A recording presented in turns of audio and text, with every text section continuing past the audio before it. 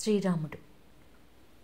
దశరథుడు కౌసల్య దంపతులకు జన్మించారు. త్రేతాయుగంలో చిత్రశుద్ధ నవమి రోజున వసంత ఋతువు కాలంలో పునర్వస నక్షత్ర కర్ణాటక లగ్నంలో మధ్యాహ్నం పన్నెండు గంటలకు పుట్టారు. అందుకే ఈ పవిత్రమైన రోజున ప్రతి సంవత్సరం మన దేశంలో శ్రీరామనవమి వేడుకలను జరుపుకుంటారు. ఈరోజు హిందూ మతాన్ని విశ్వసించే వారందరూ శ్రీ సీతారాముల కళ్యాణ మహోత్సవాన్ని ఘనంగా నిర్వహిస్తూ ఉంటారు. ఈ నేపథ్యంలో ఈసారి శ్రీరామనవమి ఎప్పుడొచ్చింది? శ్రీరాముని ప్రాముఖ్యత శ్రీ సీతారాముల కళ్యాణ విశిష్టత పూజా విధానాలేంటో మనం తెలుసుకుందాం. హిందూ పంచాంగం ప్రకారం ఏ దేవుడికైనా పూజలను సూర్యోదయం నుంచే ప్రారంభిస్తారు. అయితే శ్రీరాముల కళ్యాణం లేదా శ్రీరాముడికి మాత్రం మధ్యాహ్నం పన్నెండు గంటల సమయంలో పూజ చేయాలి. పూజకు ముందే శ్రీ సీతారాముల విగ్రహాలతో లక్ష్మణుడు ఆంజనేయ విగ్రహాలను సిద్ధంగా ఉంచుకోవాలి. ముందుగా పూల హారతులతో విగ్రహాలను అలంకరించుకోవాలి. హారాలతోటి. అనంతరం దీపం వెలిగించి శ్రీరామ రక్షస్తోత్రం పఠించాలి.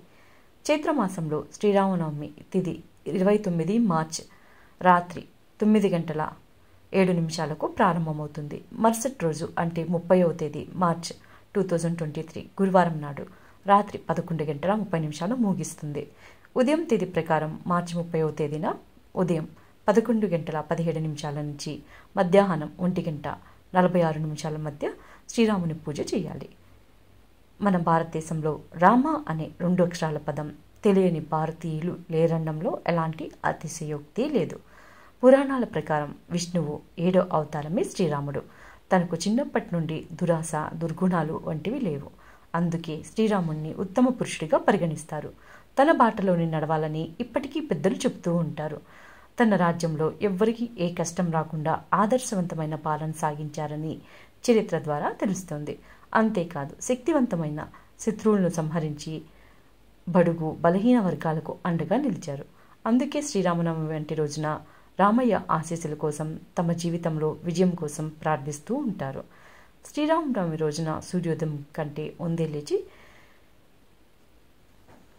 మామిడాకులు కొబ్బరికాయను కలసంపై ఉంచాలి. శ్రీరాముని సీతారాములకు ధూపం దీపం పండ్లు పువ్వులు వస్త్రాలు ఆభరణాలు సమర్పించాలి. శ్రీరాములోరికి తీపి పదార్థాలను నైవేద్యంగా సమర్పించాలి.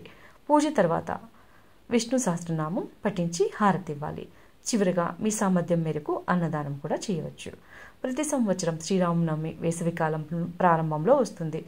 ఈ కాలంలో సూర్యుడు ఉత్తరగోళానికి సమీపంలో ఉంటాడు. అందుకే శ్రీరాముని సూర్యవంశానికి ఆరాధ్యునిగా పరిగణిస్తారు.